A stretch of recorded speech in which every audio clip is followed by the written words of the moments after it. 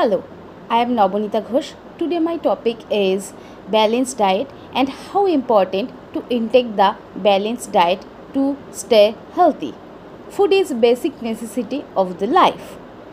Unhealthy food habits like not knowing what to eat, overeating, starving and eating more junk foods such as more calorie rich foods, not drink enough water, drinking carbonated foods regularly, improper sleep that leads to many diseases like diabetes, hypertension, heart diseases, obesity. In current scenario, there are many fat-rich diet which is followed by the many people. But we failed realize that the food product which are healthy and sustainable are very harmful to our health. Body needs all the nutrients in adequate amount and current proportions to work to make healthy to our body. So the well balanced diet is necessary such as carbohydrate, protein, fruits and vegetables, milk and milk products, fats and oils, vitamins and minerals which is also necessary for our body. At first, most important is component the carbohydrate which makes the energy to our body.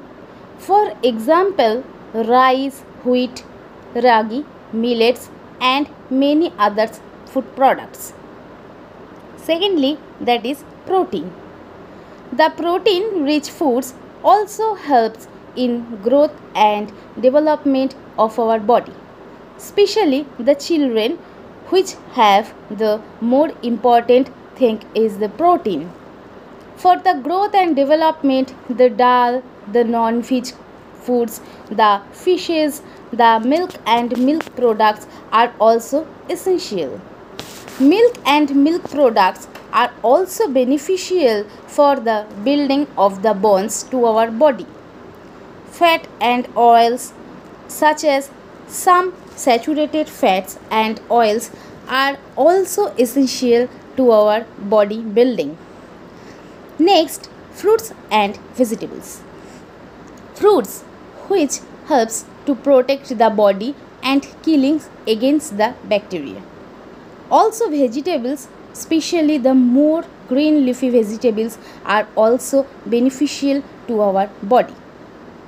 So, at the last but not the least, the main fact is that the balanced diet which are more important for the healthy lifestyle and also important for building of our body. So, unbalanced diet, overeating, improper food products should be restricted from the diet. That's all about the balanced diet today. Next, I will coming with the more important nutrition subjects. Thank you.